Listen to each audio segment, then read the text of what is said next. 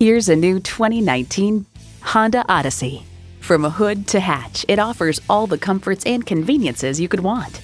You'll look forward to every drive with features like these streaming audio, power heated mirrors, front heated leather bucket seats, auto dimming rear view mirror, doors and push button start proximity key, dual zone climate control, automatic transmission, power sliding and tilting sunroof, gas pressurized shocks, and V6 engine.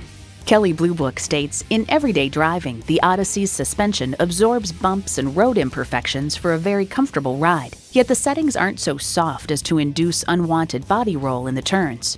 Every Honda's designed with the driver in mind. You'll never know till you try. Test drive it today.